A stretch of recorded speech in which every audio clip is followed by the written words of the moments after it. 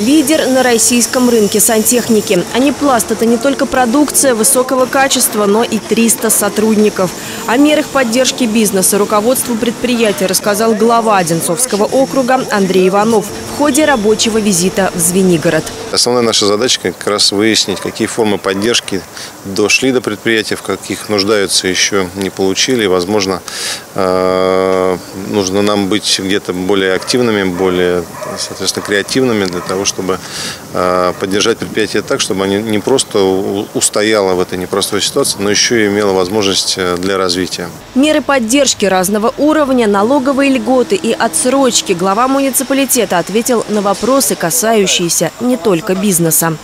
И у меня очень волнует вопрос постройки эстакады платной, которые вот э, собирались как бы строить, но сейчас непонятно, в каком, на каком этапе это.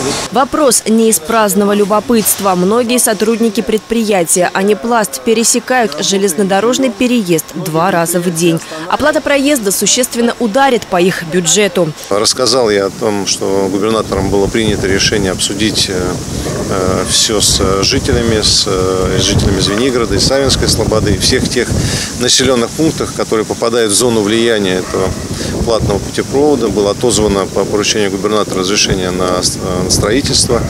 И вот сейчас мы подошли к этой работе, как раз формируем э, публичное обсуждение и э, в сентябре будем проводить. Предприятие, производящее сантехническое оборудование, находится на территории Звенигородского завода «Пластиковая мануфактура». Последнему удалось получить разрешение на застройку. Это позволит увеличить производственные мощности и тем самым увеличить число рабочих мест. Окончание строительных работ запланировано на 2022 год. Евгения Августина, телекомпания «Одинцова».